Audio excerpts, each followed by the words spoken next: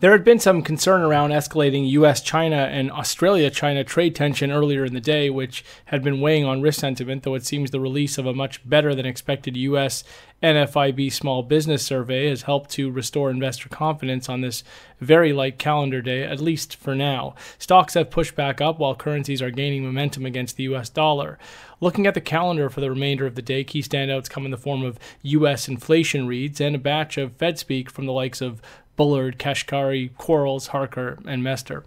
That's all for now.